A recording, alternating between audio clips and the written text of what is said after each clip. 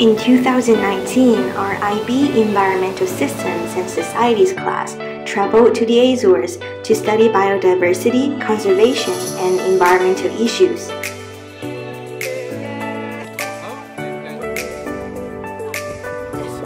Welcome to the Azores.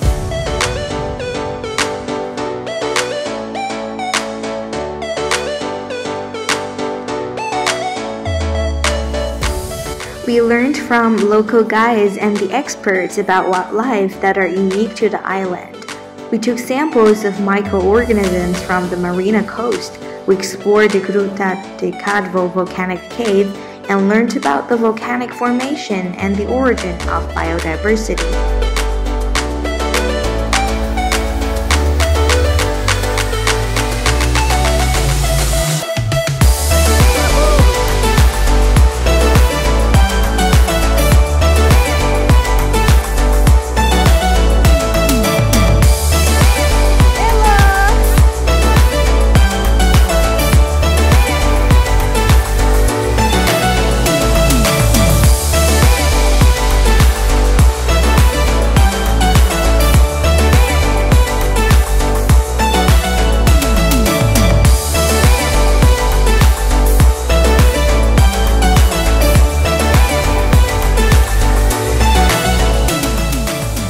TASIS has made Europe our classroom, which provides us an opportunity to experience the world beyond our textbooks.